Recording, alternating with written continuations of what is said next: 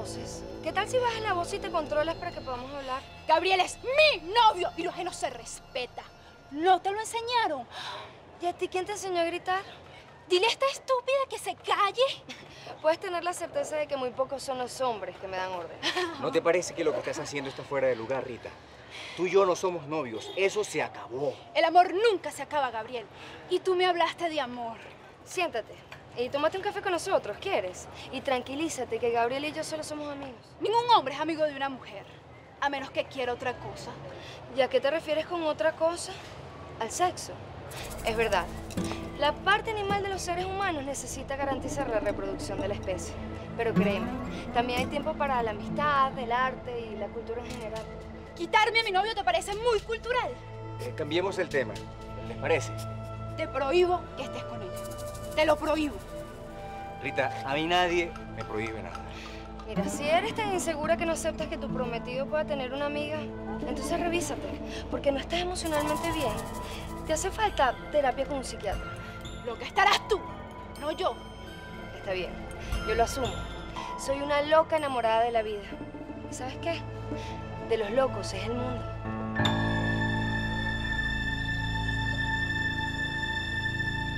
Entonces, muchachita, es que no te quedó claro la última vez que hablamos.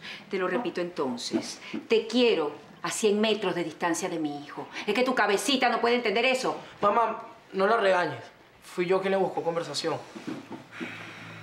¿Qué está pasando contigo, hijo? Un jovencito como tú no puede estar perdiendo su tiempo con cualquiera, mi amor. Mamá, por favor, hablamos luego, ¿sí? No, no, no, no, no, no. Es aquí y ahora que tu mamá te va a dar la gran lección de tu vida. Tú eres Pedro José Aristilleta y tus amigas son mujeres distinguidas con la suficiente clase como para hablar de tú a tú contigo.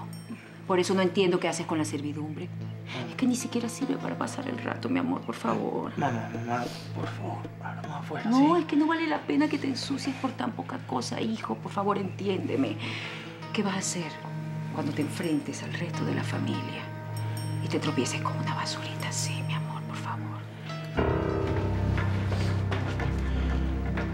¿Ves lo que logra, mamá? Es que tú tienes un talento especial para hacer sentir mal a los demás.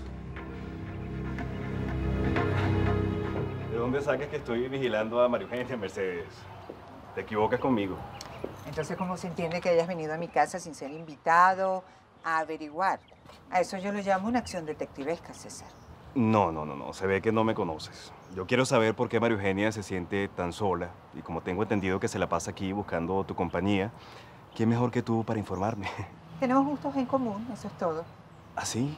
Me encantaría que me invitaras a compartirlos. Lo tendré en cuenta para la próxima vez. Adoro dar tertulias interesantes. Si te invito, serás bien recibido. Que sea pronto. Estoy loco por saber cuáles son esos gustos en común. Señora,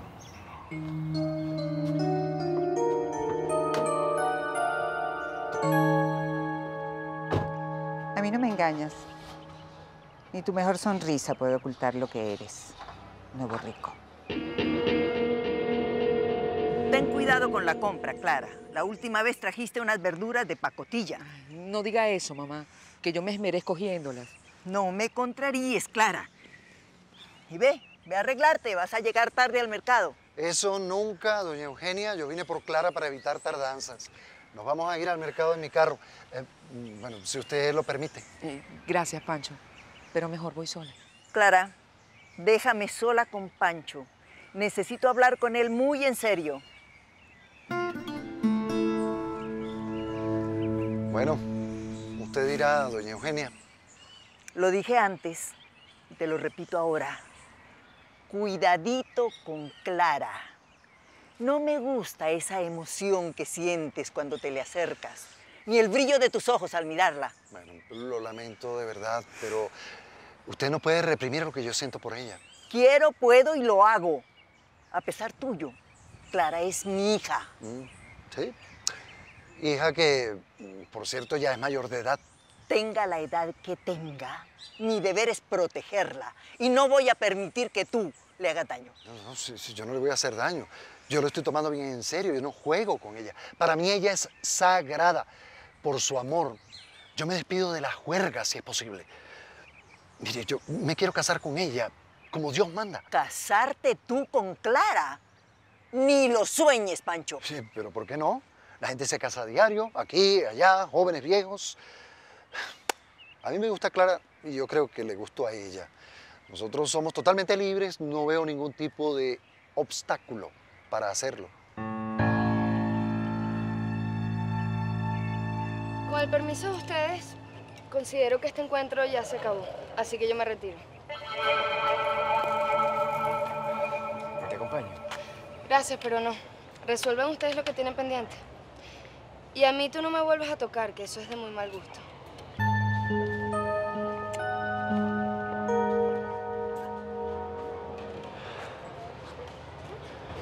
Sin ataques de histeria, Rita. Entiéndelo de una vez. Entre tú y yo no hay nada.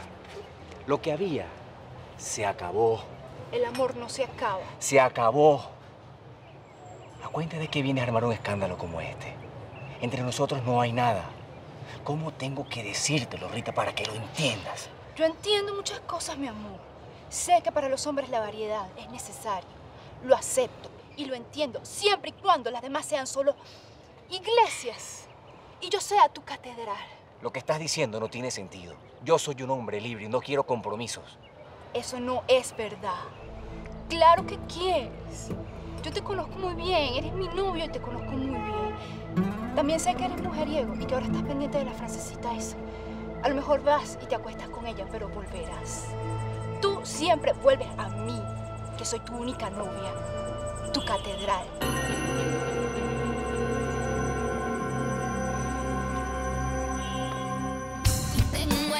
El paso firme y no puedo entrar de ti. Mi amor, eso es lo que tú piensas de mí.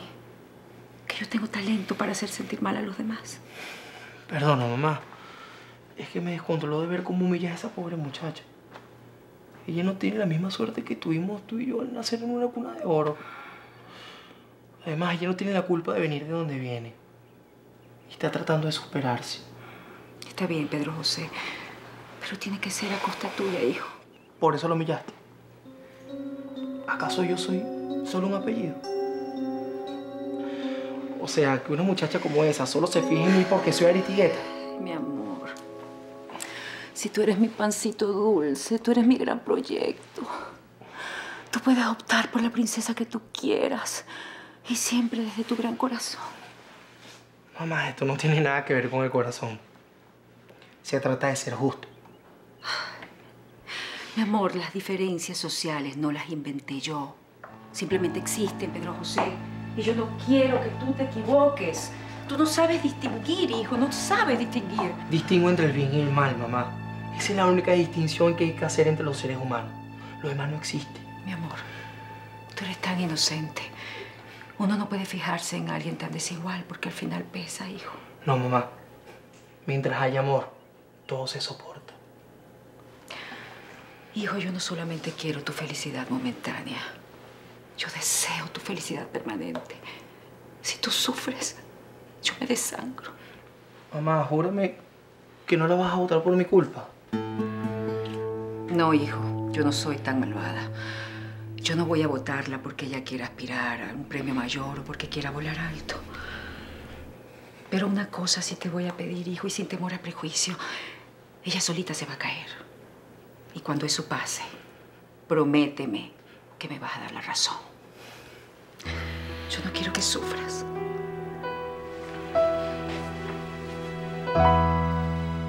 Isabelita, ¿qué te pasa, mía?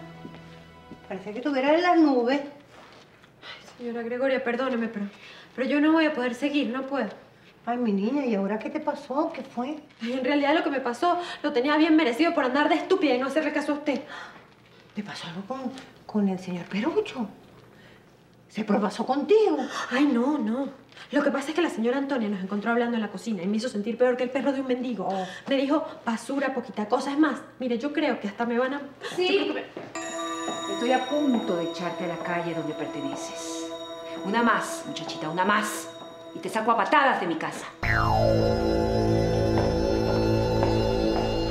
Yo te lo advertí, lo que pasa es que chica. Ah, no, ve acá, Clarita, ¿y qué fue? ¿Qué pasó? Esa cara quiere decir que hay tragedia. ¿Qué pasó, Clarita? No entiendo por qué usted no confía en mí. Me conoce de años. Precisamente porque conozco tus andanzas, es que no quiero que te le acerques a mi hija. Ah, bueno, no, ya yo dejé esa vida. De verdad que yo quiero sentar cabeza. Yo quiero hacer una vida apacible al lado de Clara. Pero ¿por qué, Clara? Es que no hay más mujeres en este pueblo. El corazón sabe de razones que ni la razón entiende. ¿Mm?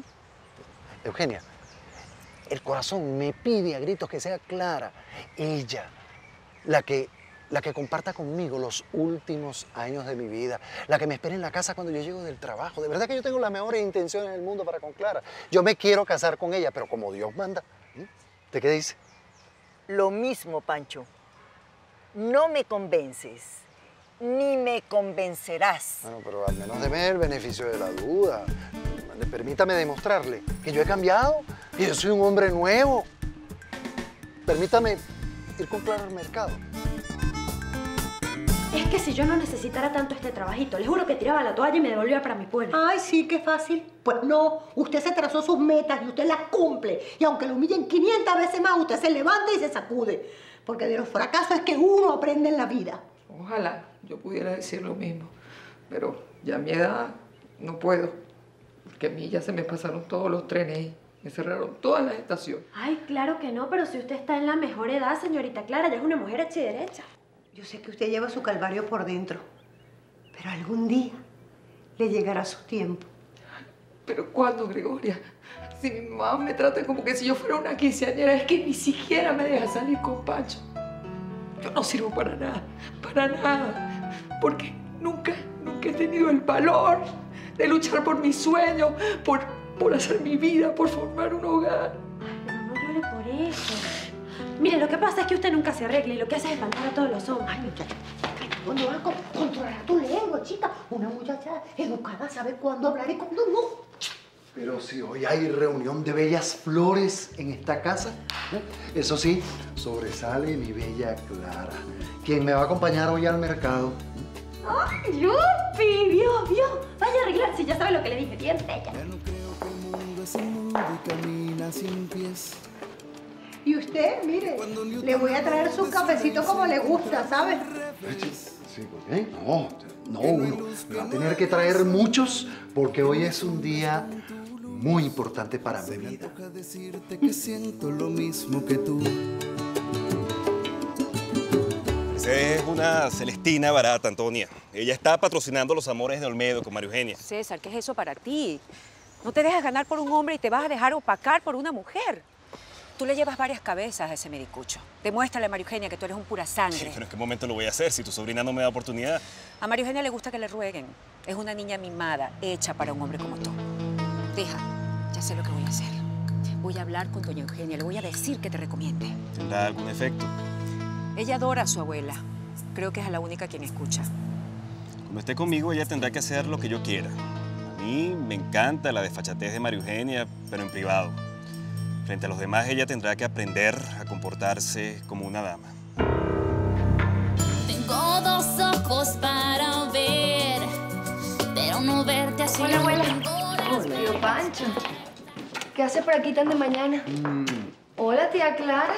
¿Para dónde vas tan guapa? ¿Va conmigo al mercado? Eso me encanta. Ver a mis tíos compartiendo juntos. A mí me encanta mucho más. Espero que el encantamiento no te haga olvidar mi advertencia, Pancho. Mucho cuidado con mi hija. Tu advertencia sale sobrando, abuela. Tío Pancho es todo un caballero. Aún así no me fío. Clara sale siempre al mercado, a la misa y siempre sola. Muy mal. Ni que la iglesia y el mercado fueran los únicos lugares de este pueblo. Tía Clara todavía es joven y buena moza. Tiene derecho a conocer otros lugares y divertirse. Y si es en compañía de tío Pancho, mucho mejor. Es mejor que se vayan. María Eugenia y yo tenemos que hablar. Ah, sí, va- va- vamos, vamos, se hace tarde. Bendición, mamá. Dios te bendiga, hija. Chao. Bueno, hasta luego.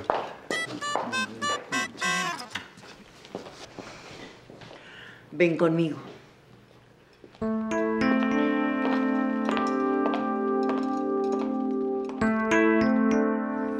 ¿Terminaste? Sí. Para ver.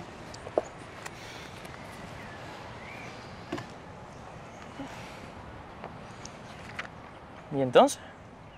Ana, no tienes lista ni la mitad de lo que nos mandaron. ¿Será que no entiendes algo? Ay, está bien. Te voy a decir lo que me pasa. Pero ni se te ocurra decirle a nadie. Mira que estoy confiando en ti porque eres mi mejor amigo. Tú sabes muy bien que yo nunca te traicionaría.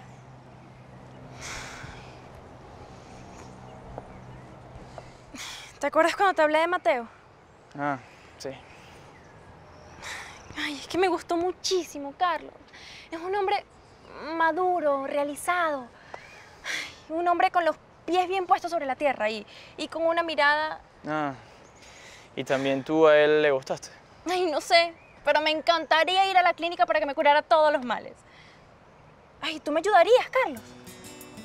Con tal y no sea una de esas locuras de las que después te arrepientes toda la vida, puedes contar conmigo. Ay, por eso es que te quiero tanto. Uy, eres el mejor amigo que una mujer pueda tener. Gracias por querer enseñarme, abuela, pero yo no nací para bordar, no me interesa. Pero no seas testaruda. Si tienes manos como cualquier mujer y a los hombres les encantan las mujeres que saben bordar. Y a mí me encantan los hombres que no se dejan llevar por esas tonterías. Eso a los hombres no les interesa. Lo que quieren es encontrar la mesa servida y en su santo lugar. Pues muy mal hecho. Porque manos de mujer que no bordan son manos devaluadas, manos sin valor. Me vas a perdonar, abuelita bella y querida, pero estas manos que están aquí hacen hablar a los dioses a través del piano e inventan cuentos a través de la escritura. Eso es lo que yo soy, escritora y pianista y a mucha honra. Ya está, pero cálmate. Cálmate, ya no se puede ni conversar contigo, caray. Lo que quiero es estar aquí contigo, pero como siempre andas en la calle vestida así tan distinto al resto de las muchachas decentes de por aquí, ya piensan que no tienes moral. ¿Sabes lo que yo pienso, abuela? Que la moral es una farsa llena de incongruencias y contradicciones, que se amoldan a los intereses de los que se sienten superiores para decir lo que está bien y lo que está mal.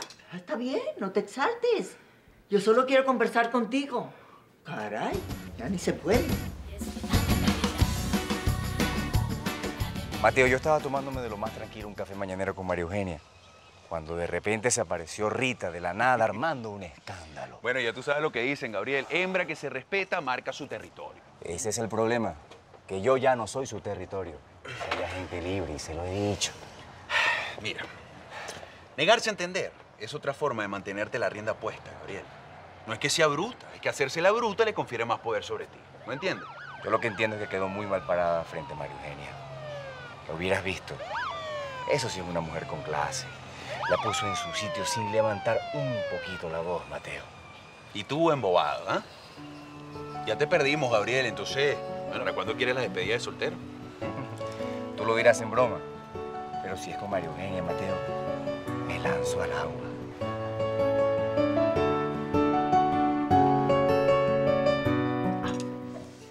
¿Qué pasó?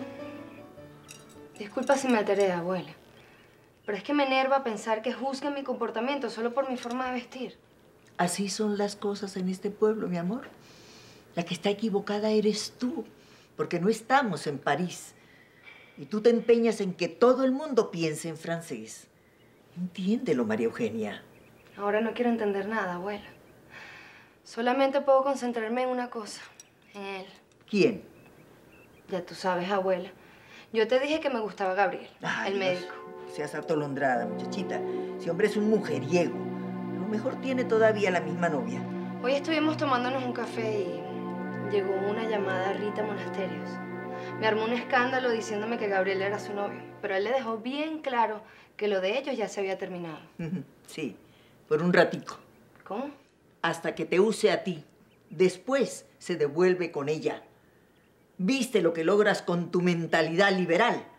Ya los hombres en este pueblo piensan que eres una muchacha fácil. ¿Por qué me dices eso, abuela? ¿Por simple antipatía? No, mi amor. Porque te quiero. Y veo que no te adaptas a este pueblo ni a sus costumbres. ¿Y eso qué? Que no te das cuenta de que Gabriel Olmedo solo quiere divertirse contigo. Pero para casarse la tiene a ella, a Rita Monasterios, la hija de un ministro que le representa muchos millones. En cambio tú no tienes un solo centavo. No sé por qué, pero hoy doña Clara me ha tratado malísimo con decirte que me pidió que no me entusiasmara cuando te viera. Ay, Pancho, por eso no la puedes juzgar. Mira que mi mamá se quedó en el pasado y de ti se dicen tantas barbaridades. no exageres, Clara. Tampoco es que he vivido en la santidad, pero no como para excomulgarme. Bueno, no tanto como la excomunión, pero ese corre y corre que llevas la vida necesita un freno urgente. Bueno, por eso mismo es que quiero casarme contigo, para que me pongas reparo, me hagas entrar en carril. Tu propuesta es tan egoísta como la imposición de mi mamá. Ella me quiere ver vistiendo santos y tú criándote y corrigiendo tus errores. Pancho, mi meta es otra. Yo necesito un compañero para mi vejez. A mí me da pánico pensar que voy a llegar a vieja sin nadie que vea por mí. Por eso, lo único que yo quiero es un hijo. Nada más. No se diga más. Hagamos la diligencia. Mire, yo tampoco es que sea un anciano incapaz de procrear.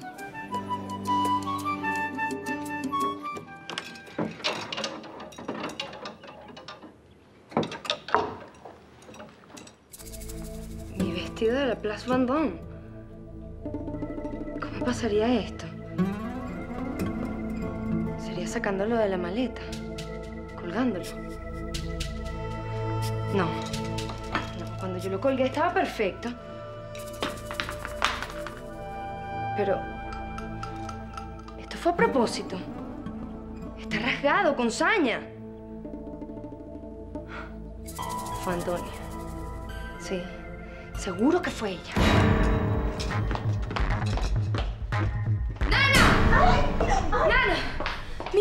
Pasó mi vestido. ¿Tú sabes algo de esto? No, mi niña, cuando lo colgamos estaba bien. ¿No se acuerda? Claro que me acuerdo. Solo quería que me lo confirmaras. ¿Tú viste si alguien entró a mi cuarto? No, no, señorita, yo casi no salgo de la cocina.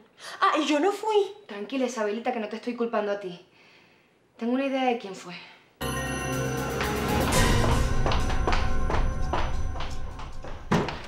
Niña, no entres así, me vas a matar de un susto. Es que cargo una rabia inmensa, abuela. Mira lo que le hicieron a mi vestido. Al mejor. Es que lo escogieron preciso para hacerme la maldad. Pero no acuses sin saber, mi amor. ¿Quién va a ser capaz de hacerte una crueldad como esa? ¿Y para qué? Para humillarme. Como con lo del cuarto, abuela. Esta gracia es de Antonia. No. ¿Que yo hice qué?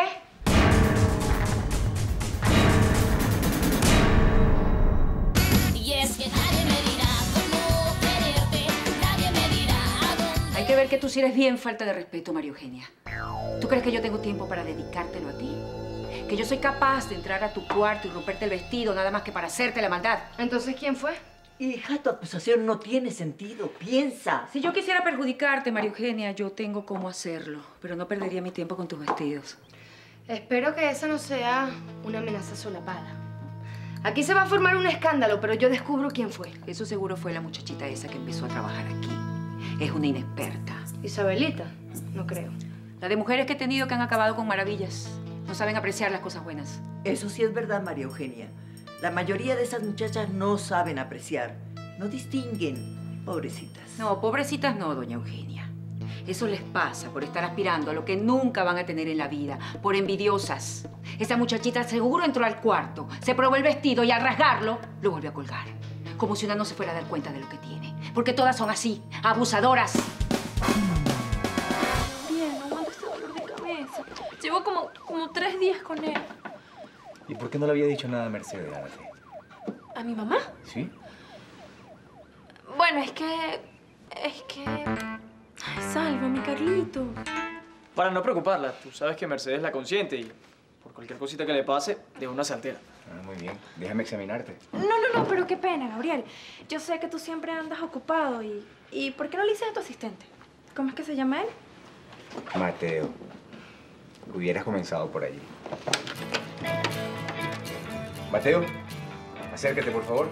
Tengo un caso exclusivo para ti. Muy bien. Mientras Mateo te examina en la salita al lado, Carlos y yo vamos a comer entonces. No, yo prefiero acompañarla. No, no, no, Carlito, no hace falta. Vete, anda.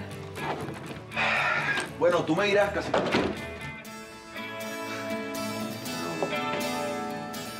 Qué sorpresa tan agradable. Supongamos que tu propuesta me convenció y acepto casarme contigo. ¿Qué harías? ¿Cómo que qué haría?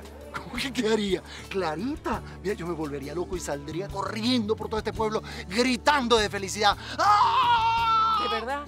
¿Casarte conmigo significa tanto para ti?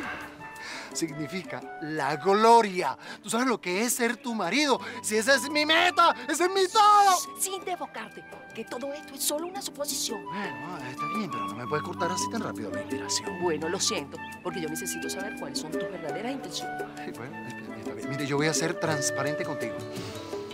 Adelante, pregunta lo que tú quieras. Pacho, ¿qué quieres tú de mí? ¿Una mujer que te lave, te planche, te cocine? ¿O una esposa que te ame apasionadamente? Que sea tu compañera en las buenas y en las malas y el resto de nuestros días. La segunda opción es la mejor. Sí, que me ames, me ames y me ames y me recontraames hasta que seamos un par de viejitos.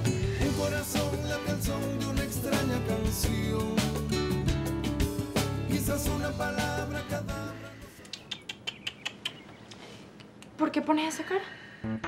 Ay, no, Diosito. ¿Será que sí tengo algo? Esto no me gusta nada. A ver, ¿ah? Ah. dime algo. ¿Esos dolores de cabeza te dan muy seguido o desde la vez que cenamos? ¿Mm? Ay, auxilio, socorro, me descubrió. Aquí es donde uso el comodín. Ajá. No lo imaginaba. Pues sí, señorita, usted está muy enferma y es una enfermedad incurable. ¿Qué? No, no, eso es imposible. Amor. Ese es el nombre clínico de lo que tú tienes. Y hasta ahora existe un solo medicamento para ti. ¿Yo? Ay, tú sí eres malo, no me vuelvas a asustar así. De verdad no te esperabas este diagnóstico. Sí, digo no. ¿Y ahora? Ya mejor me voy. No te vayas, Natalia. Eh, me gustaría que conversáramos un poco. Tranquilo, ya yo me siento mucho mejor. A mí también me encantaría conversar contigo, pero me siento como la más regalada del planeta.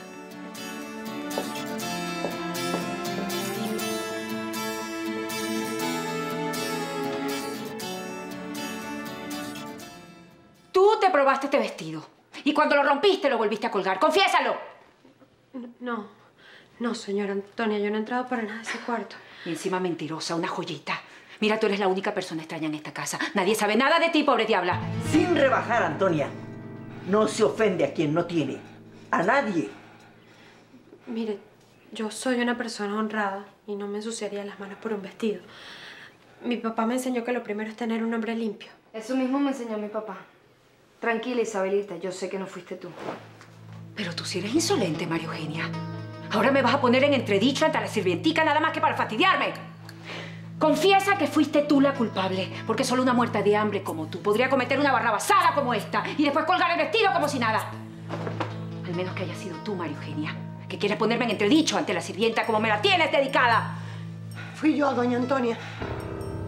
Sí, perdona, niña. Se me cayó el traje cuando lo iba a poner en el closet y, y, bueno, se me enredó, se me rompió, no, no sé cómo pasó, pero fui yo.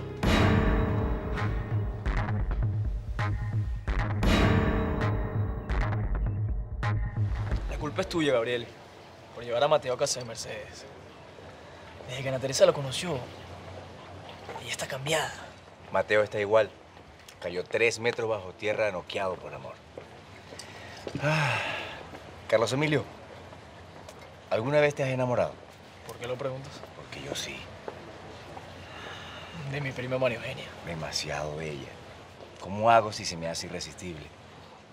¿Sabes algo? Yo. Yo también estoy enamorado. ¿De quién? Eh, Carlos, ya no estoy enferma. No era nada. Vamos.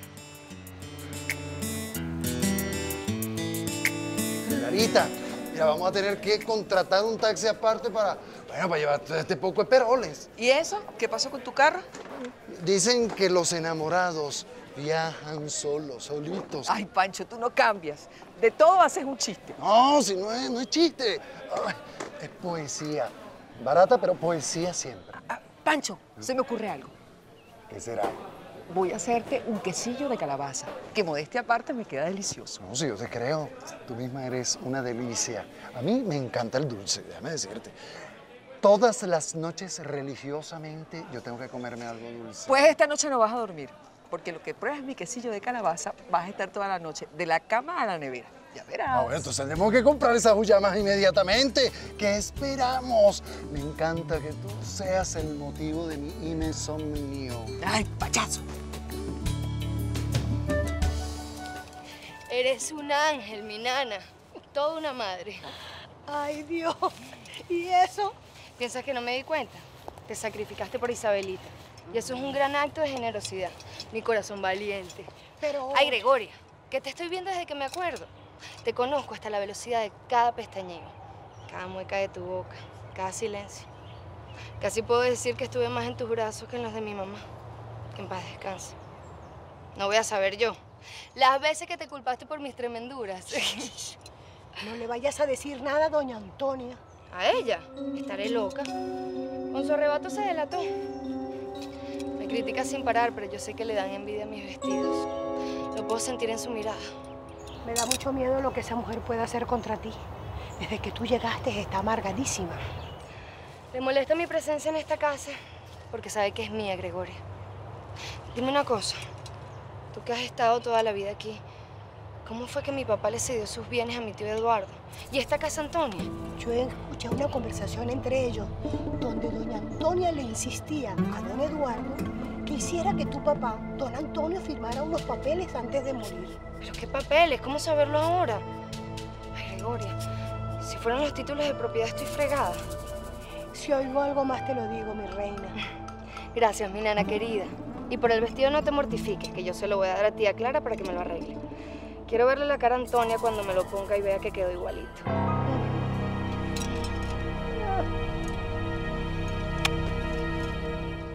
Tengo el paso firme y no puedo entrar de ti. Hola Cristina, ¿cómo va todo? Bien. ¿Vas a comer? Sí, pero quiero que me atiendas tú. ¿Dónde me siento? Cualquiera de esas.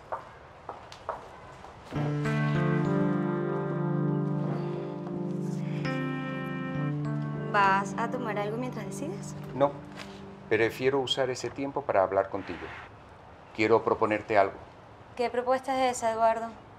Yo fui muy clara contigo y espero que no. Cristina, ya va, por favor. Porque siempre estás a la defensiva conmigo. Mi propuesta es de trabajo. Ya tengo trabajo. Esa es mi propuesta. Quiero que dejes de trabajar aquí y que seas mi secretaria. Mejor dicho, mi asistente. Necesito una mujer eh, inteligente que me ayude en la oficina. ¿Y quién mejor que tú? Ya sé por dónde vienes, Eduardo. Y te recuerdo esto. Ser divorciada no me convierte en una mujer fácil. No me malinterpretes. Mi propuesta es estrictamente de trabajo. Cristina, por favor, créeme. Quiero ayudarte. Después de auxiliarme en aquel desastre, me siento en deuda contigo. Eso es todo.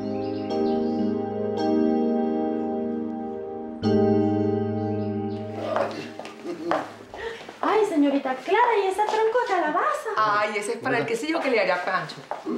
Eso, don Pancho, está ganando puntos, ¿no? Que sí. No seas confianzuda, Isabelita. Respeta a Pancho. Ay, disculpe, señorita Clara, no se repetirá. Mm, Bueno, hora de partir. Yo tengo una asesoría pendiente en los ministerios. Hasta pronto, Clara. De verdad que fue un placer haberte acompañado. Mm. Ah, Bueno. Chao, Isabelita. Pórtese mal. mundo es inmundo y camina sin pies. Querida Clara. Que cuando Eh, aterrice. Ah. Ay, disculpe, Isabelita.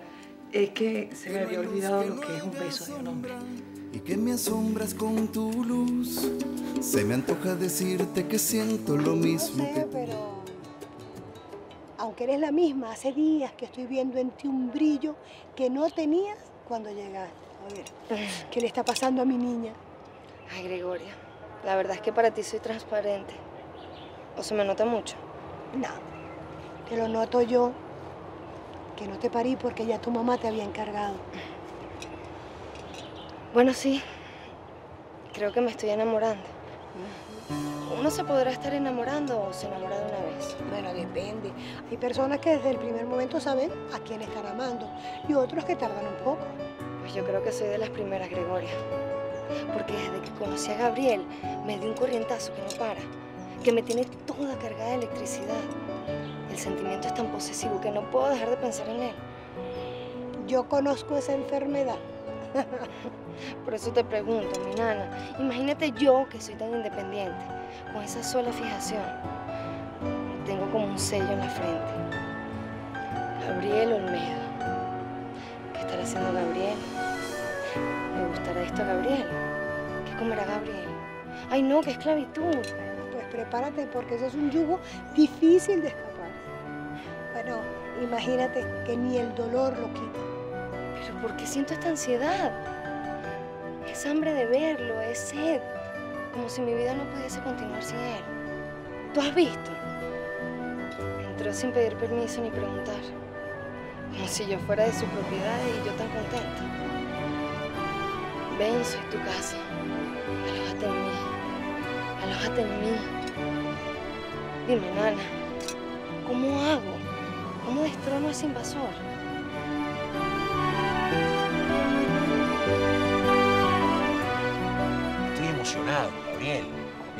Todo me da a entender que Ana Teresa está tan entusiasmada conmigo como yo lo estoy con ella. Solo falta que tú hables con Mercedes. ¿Puedes hacerlo? ¿Qué? Ah, no, doctor, pero ¿y entonces? ¿Estás en las nubes? Oye, estaba pensando en comprarle unas rosas rojas a María Eugenia y llevárselas hasta su casa. Para que te vuelvan a echar. Que me echen 100 veces, no me importa. Mira, el que quiere algo insiste. Y si no, es un idiota. Y María Eugenia vale la pena que yo vaya de frente. Aunque me echen otra vez de allí. No, Gabriel. Es que tú definitivamente estás peor que yo, ¿ah? Enamorado como un perro. Hoy es un día perfecto. Hay un sol radiante. Oye, pero como que le fue muy bien en este mercado, ¿no? Ay, Isabelita, si te contara, si te contara. Cuénteme, cuénteme. Pancho me acompañó. ¿Para qué que andar pensando en soluciones? ¿Para qué que andar pensando en opiniones? Ay, si es tan fácil esperar y ser paciente. te parece? Porque Bien, esperando hay bien, bien. Ay, Me pues a mí, excelente. a mí también me parece excelente. Por eso es que estoy tan feliz. Mira, eh, eh, Isabelita, por favor, aprovecha y mete esto antes que se dañe en la mesa.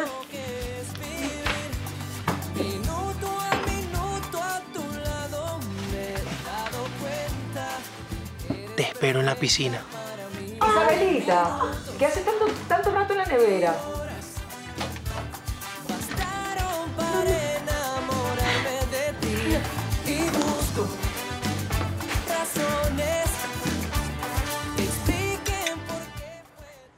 Disculpa si fui un poco grosera, Eduardo, pero... Olvida eso. Entiendo perfectamente tu posición. Existen muchos hombres que aprovechan cualquier situación para seducir. Mm, Agradezco tu comprensión. Tengo prohibido sentarme en la mesa con los clientes. No importa. Si te despiden, tienes un nuevo empleo. Justamente por eso me senté. Decidí pensar muy bien tu propuesta. Pero antes, tengo que saber cuánto me vas a pagar. Para que no lo pienses mucho, te daré el doble de lo que ganas aquí. ¿Te parece bien? Siendo así, me parece perfecto. ¿Eso quiere decir que tengo una nueva secretaria? Exactamente. Secretaria, ni más ni menos. No pienso acostarme contigo para agradecerte el trabajo. Por acá, señor. Rosas rojas. Pero qué detalle tan sofisticado, César. ¿Dónde las conseguiste si aquí ni existen? Las encargué a la capital. Como nuestra niña siente nostalgia, pensé que sería una buena idea traerle un aroma que le recordara a París. Mm, No, pero es que tú eres de un exquisito. Qué suerte tiene María Eugenia. Quédate aquí quietecito que ya te la llamo. Quiero que la deslumbres con esta maravilla tal y como me sorprendiste a mí. Estás en tu casa.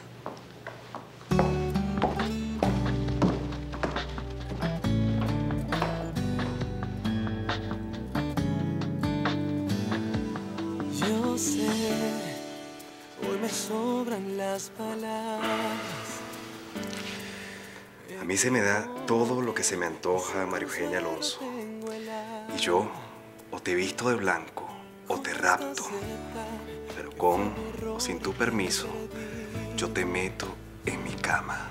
Mi corazón, no me perdones de Ay, Carlos, Mateo se enteró que yo no tenía nada. Ay, ¿qué te hizo? ¿Te faltó el respeto? No, no, no, todo lo contrario. Se portó como todo un caballero.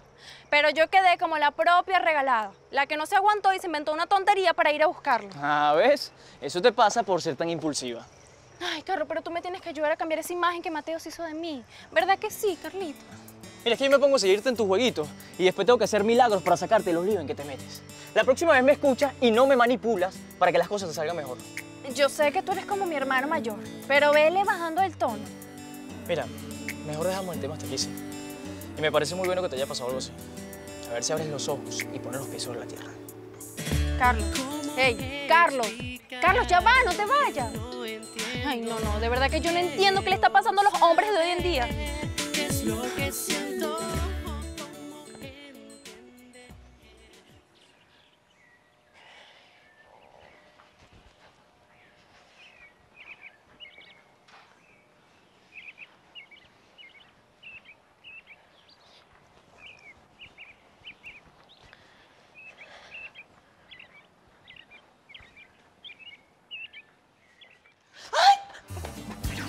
Volvió loco, señor Pedro. ¿Para qué me pidió venir aquí? ¿Acaso se le olvidó lo que me hizo su señora madre? Es que no aguanto más. Tengo que hacer algo y eso es ya. Dejaré llevarme por las ilusiones. Es ahora. Gracias, César. ¿Te gustan? Linda, sí. Pero puedes venir a la casa sin necesidad de traer flores. María Eugenia, no tienes que ser tan descortés. No estoy siendo descortés, tía. ¿Por qué todo lo malinterpretas? Por acá, doctor.